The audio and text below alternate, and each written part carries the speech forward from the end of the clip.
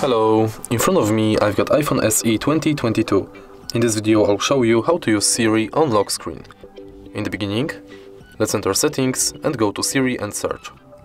Now enable listen for Hey Siri. Set up Siri. Hey Siri. Hey Siri, send a message. Hey Siri, what's the weather like today? Hey Siri, set a timer for 3 minutes.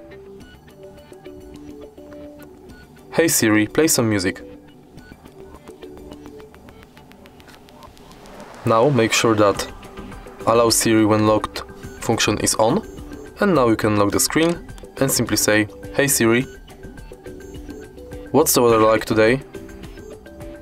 It's currently clear and 12 degrees. Expect cloudy skies starting in the afternoon. Today's high will be 17 degrees, and the low will be 1 degree. If you find this video helpful, please leave like, comment and subscribe.